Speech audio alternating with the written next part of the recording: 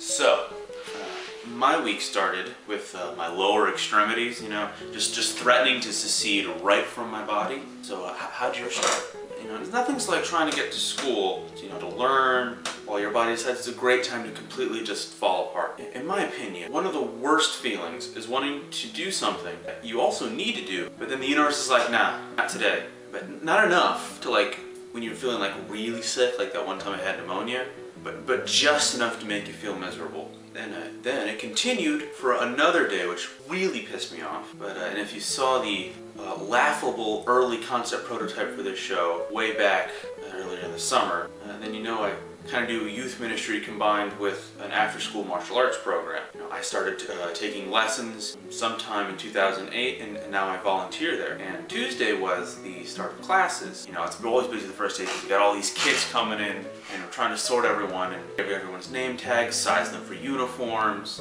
try to get everyone to be nice and you know, hurting six-year-olds in a big gym that they've never been to before. So that's always fun. And this time, like, I really needed to be there because a lot of the other instructors, like, they've moved away to go to college, and only a few have uh, just been able to stay and continue helping.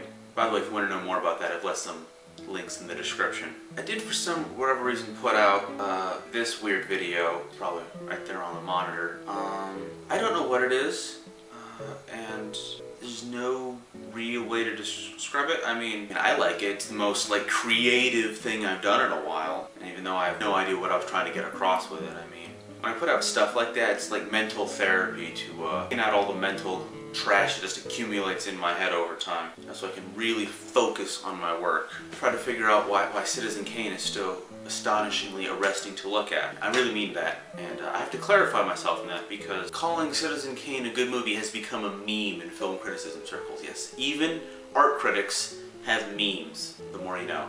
Wednesday was fun since I found out that procrastination doesn't go away once you enter college. In calculus, we're reviewing for the test we had on Friday, and it turns out that only like a few couple people had actually like done the review for the day. Special bonus was that some of them haven't even started, and I mean, the procrastination isn't like IB levels of procrastination, which is on another, it's on a galactic scale of difference. But I know, I'm pretty sure that procrastination happens in IB because of the program uh, destroying people's abilities to uh, reason properly.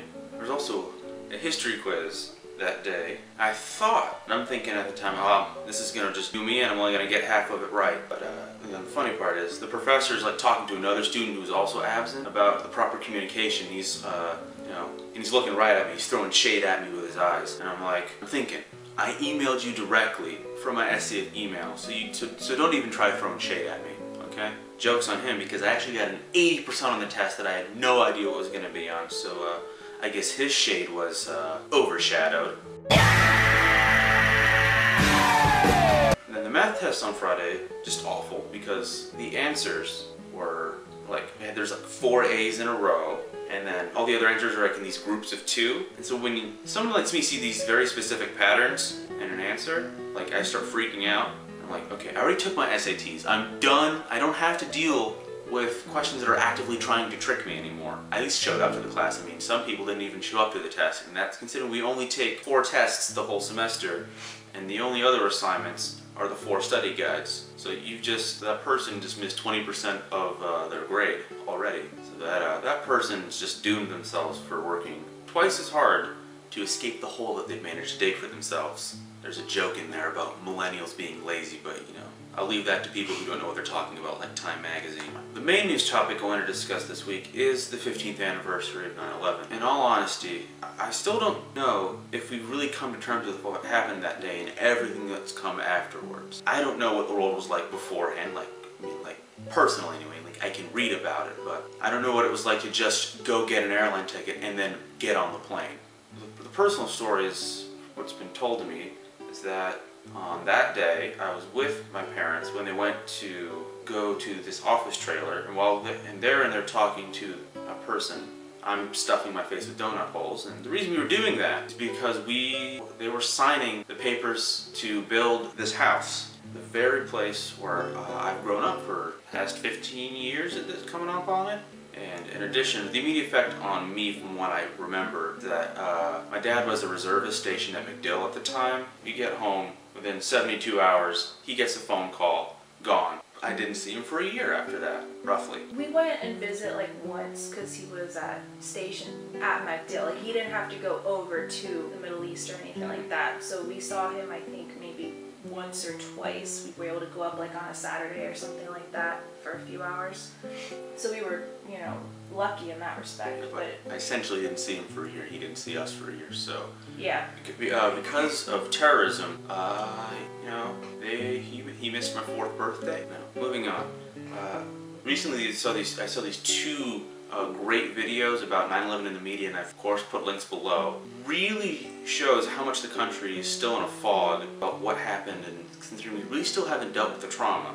Like the videos stick stay within the realms of media and artistic uh, depictions of the event, so it's not. But uh, I'll go with the real world stuff here and that. Even though we've claimed we've done all the stuff of safety, like the TSA is a joke. We all know that, and the Patriot Act uh, is pretty much a violation of your constitutional rights. The war on terror in itself is being fought with this Cold War mentality. It's just completely ineffective in this day and age. On top of all that, what really makes you sick to your stomach is that the politicians are treating like 9/11 like some kind like their other political footballs instead of dealing with it through like legislation and talking and trying to figure out what's actually going on. They're just they're just not saying anything, and then the media, the news, they're not doing anything.